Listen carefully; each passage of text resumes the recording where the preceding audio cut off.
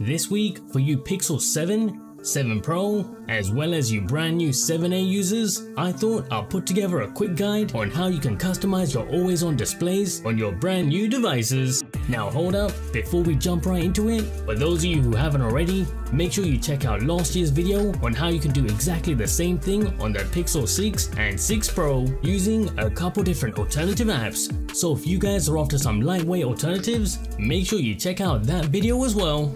But here right now, we're going to check out one singular app which is going to drastically change up your always on displays, taking it from the boring stock look to something like this. A truly customizable always on display.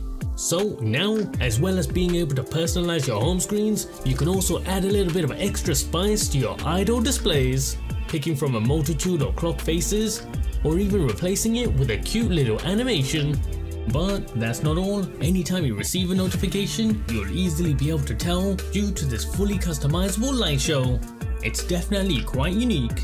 And if you're still not sold on it yet, how about some quick access music controls? So anytime you're playing music, you'll easily be able to control it without even unlocking or waking up your phones. Now that for one is definitely pretty awesome.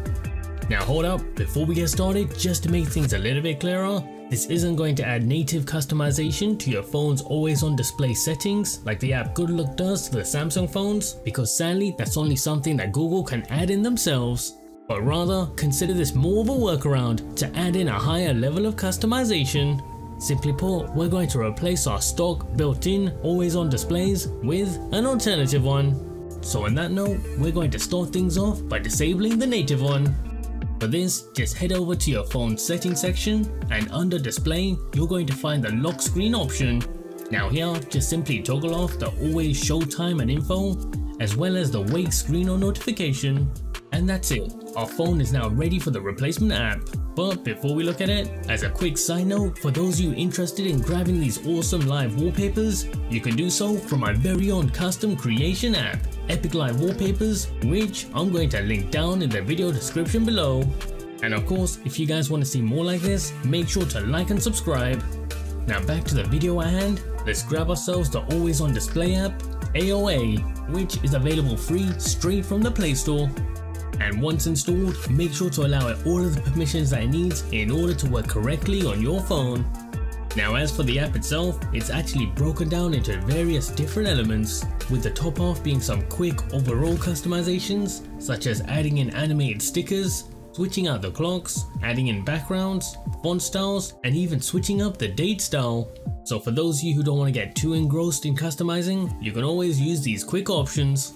As for the rest of you, make sure to check out each one of these different sections, where you can control things such as adding in fingerprint unlocking, automatic brightness controls, managing how notifications work, the clock face colors, the edge lighting pattern, duration, app shortcuts, gestures, and the list just keeps going on and on.